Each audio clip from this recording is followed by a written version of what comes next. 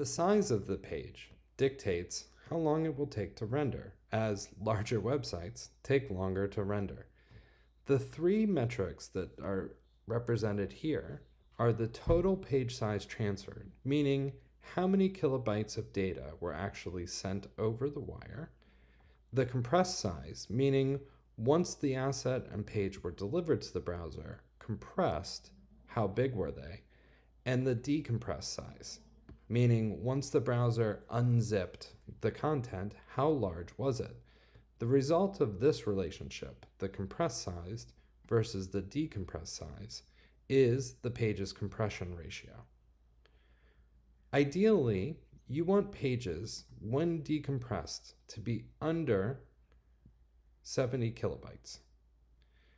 If you start to approach more than 188 kilobytes, then the page will become sluggish, as the browser can only parse so much in memory.